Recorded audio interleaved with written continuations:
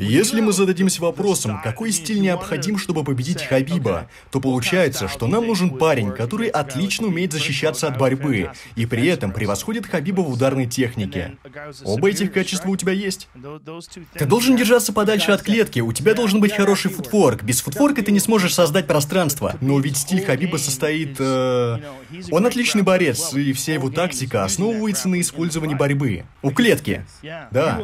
Даже если он хватает тебя в центре октагона, он пытается протащить тебя до клетки, чтобы там завершить тейкдаун. Он не проводит тейкдауну в центре. Посмотрите все его бои. Он максимум раз пять переводил оппонентов в центре октагона. Он начинает в центре, а затем толкает тебя к клетке и использует клетку, чтобы повалить тебя. Но мой футворк позволит мне сохранить такую дистанцию, на которой он будет чувствовать себя некомфортно. Тони пытался провести Иманари, но я просто был слишком далеко. Он думал, что дистанция оптимальная, но в реальности я находился слишком далеко. Верно, но он уже был измотан.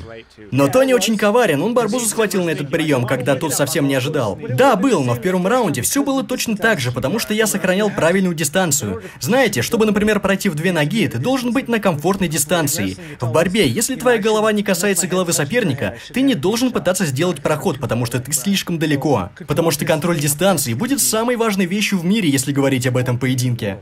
Так, а когда они собираются провести этот бой? Ну, вы знаете, у нас общий менеджер, поэтому... Да, это дико. Когда мы захотим. Да, Али настоящий гангстер. Итак, бой с Хабибом, с которым у тебя общий менеджер, и я слышал, что он планируется на сентябрь. У тебя та же информация? Да, мы во многом решаем вопросы сами, когда будем драться. Конечно, промоушен принимает окончательные решения, но он не может никого насильно заставить драться. И суть в том, что я буду готов в сентябре, он будет готов в сентябре. Так что это идеальный вариант.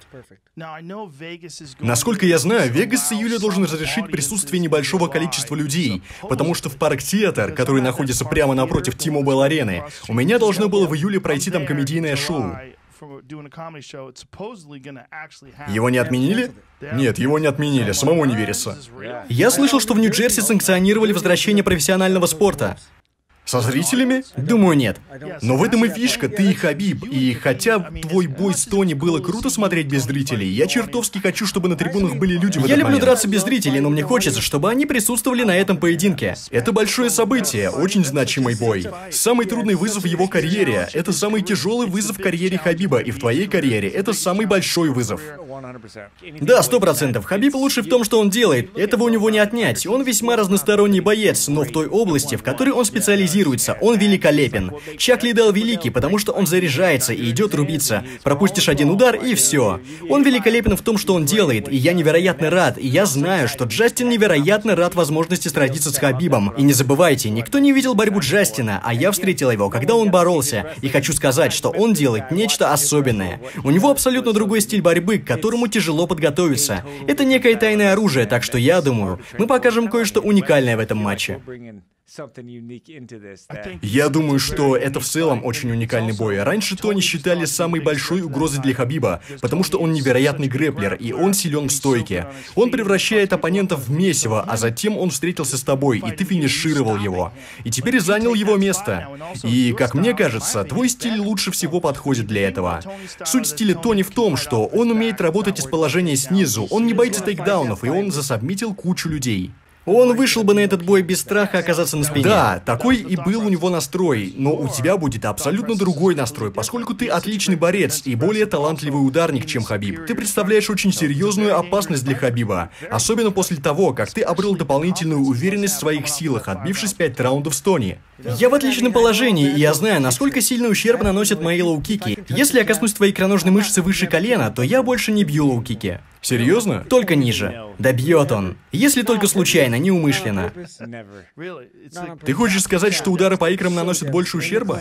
Они наносят невероятный ущерб. Но в клинче ты будешь бить выше.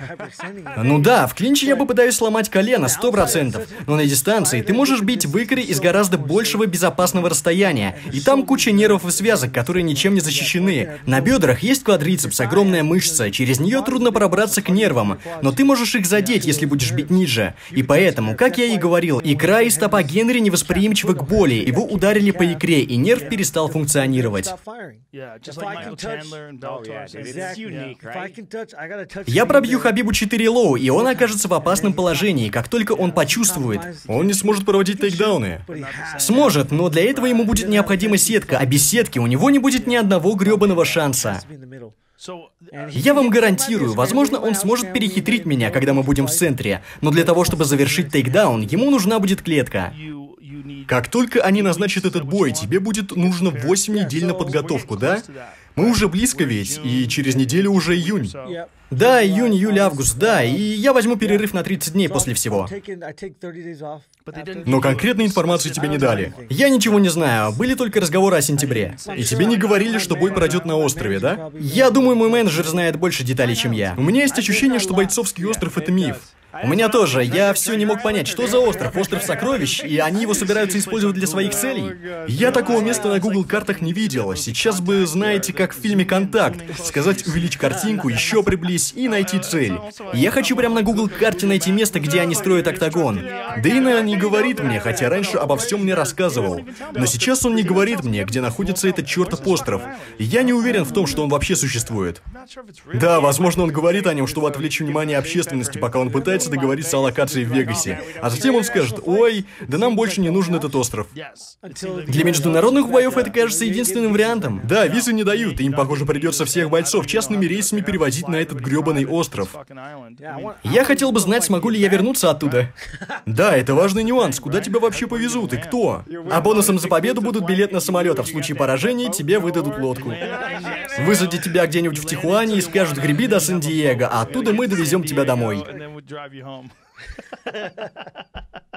Всем спасибо за просмотр, ставьте лайки, пишите комментарии, подписывайтесь на наш канал и следите за нашими обновлениями.